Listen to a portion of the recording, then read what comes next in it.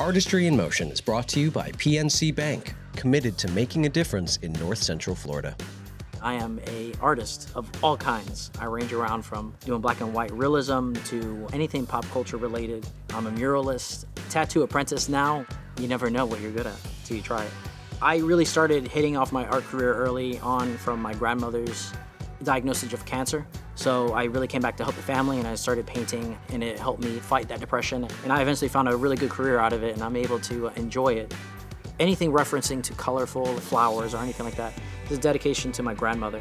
She's from Medellin, Colombia, and we have the Festival of Flowers. And it's something about feeling the roses. It reminds me of her and why I started art. You feel free when you're painting. You feel free when you're creating. You are in your own world. I think that's the, the beauty of it. Artistry in Motion is made possible by PNC Bank. Visit WUFT.org for more information.